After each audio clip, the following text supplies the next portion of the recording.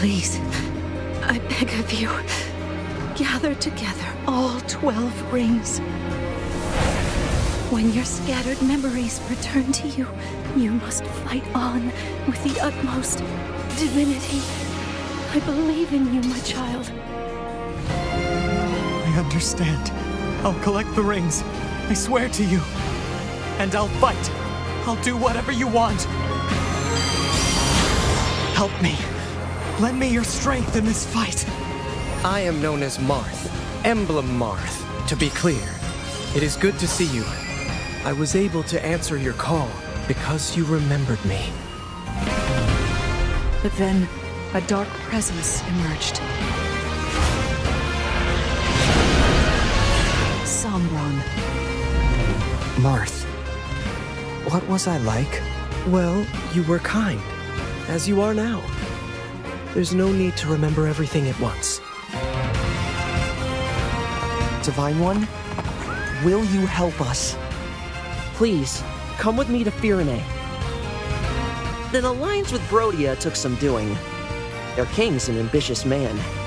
Brodia, the Kingdom of Might.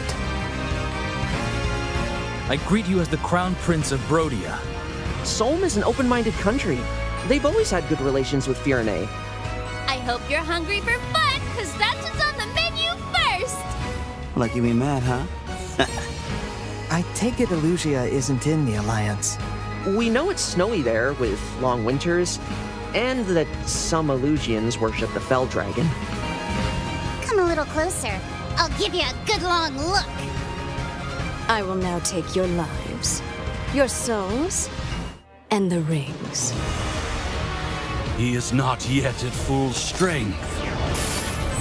My kingdom has another emblem ring in its possession. Well, isn't this tragic? By virtue of your silence, we will now kill every living soul in this castle one by one. I detest violence, but I will always fight to defend the innocent. I'm just passing through. Well, looking for someone, really. Still, despite everything we're facing, I'm calm. I think it's because you're here, Marth. We are not going anywhere. We will remain by your side until the end of this journey. You silly divine dragon. Did you think emblems were just a you thing? Not by a long shot. Marth? Marth, speak to me, please!